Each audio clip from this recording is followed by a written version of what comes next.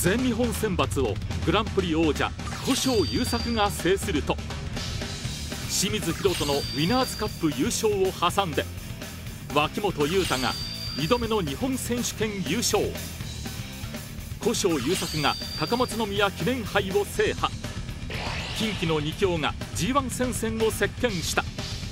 そんな2022年激闘の奇跡前編12月22日放送開始。